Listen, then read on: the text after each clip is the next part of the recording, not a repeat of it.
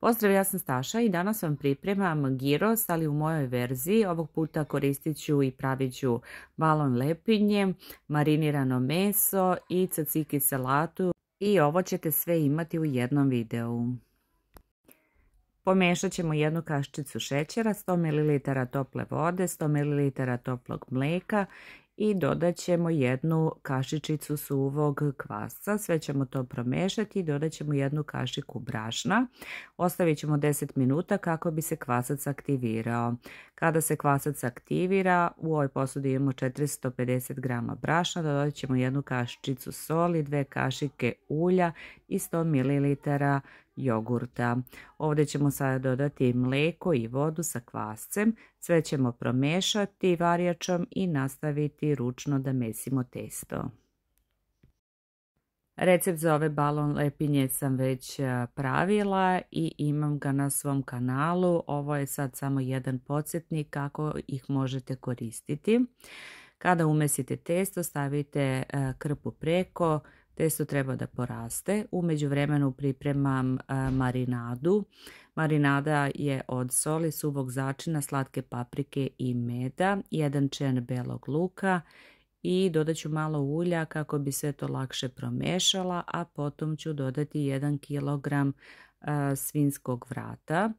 Svinski vrat sam namjerno koristila jer je prošarano meso, dosta je meko i u ovom e, jelu će biti zaista jako ukusno.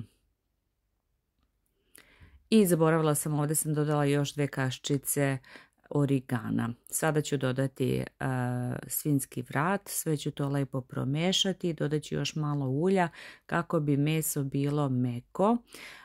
to ću sve da pokrijem plastičnom folijom i ostavit ću nekoliko sati da se marinira u frižideru. Ako vam se začini ovako zalepe za kašiku kao meni, slobodno iskinite i e, utrljajte u meso. Med ne morate da koristite, ali on daje jednu e, lepu notu, tako da možete probati, a ako ne volite, naravno da ne morate. Znači pokrivam folijom i ostavljam u frižider. Za to vrijeme pripremit ću lepinje, testo je poraslo. Ja ću sada da ga premesim i podelit ću ga na osam jednakih delova. Svaki deo ću da formiram u lopticu, a svaku lopticu ću da istaljim u oblik kruga i od njih ću da pravim lepinje. Znači formiram sada loptice. Ostavit ću ih sa strane desetak minuta kako bi odmorile, a potom ću ih istanjiti.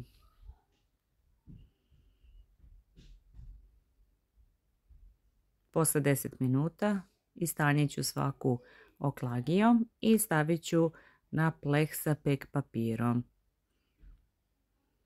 Kao što vidite one su jako tanke.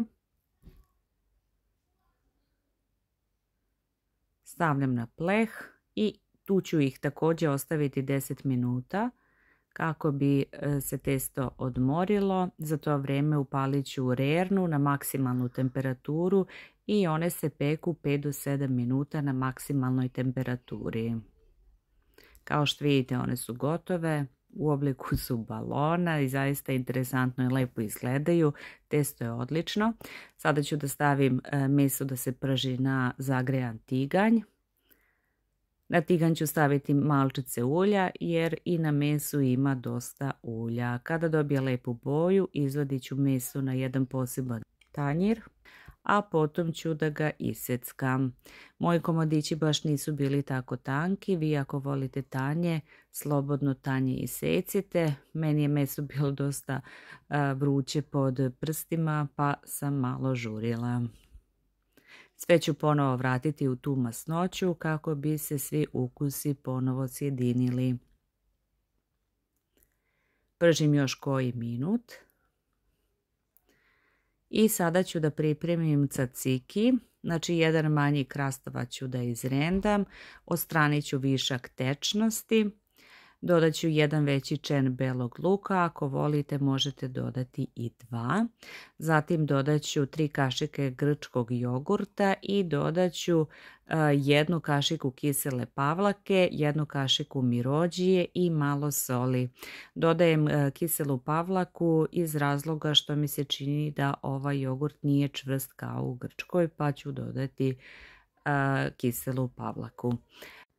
Sada ćemo poslužiti naše jelo. Ja ću da stavim salate, zatim meso, luk, caciki. Vi ako želite možete dodati i kečap i senf. Vam ako se dopada ovaj video obavezno ga lajkujte i pratite moj kanal. Prijatno!